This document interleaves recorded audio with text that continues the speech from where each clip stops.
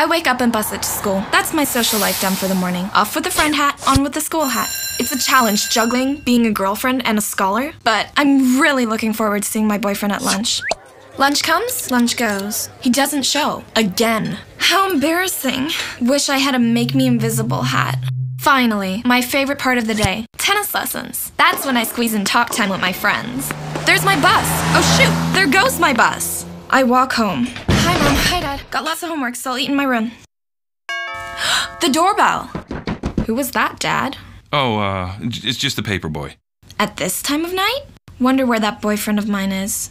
Homework for English class. Write an essay on Do I or don't I exist? I definitely exist. I can feel it. SMS to my boyfriend. I know I exist, but do you? Note to self Look for another boyfriend. Lights out, eyes shut. No hats, please. No, no, no, no, do it, do it,